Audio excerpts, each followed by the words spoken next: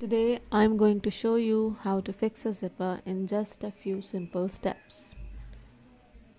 This is a separated zipper which I have removed from an old purse. It has two separated zipper tapes and a zipper pull.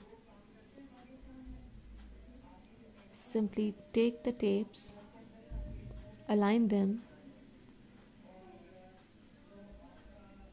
and cut one side a little bit shorter.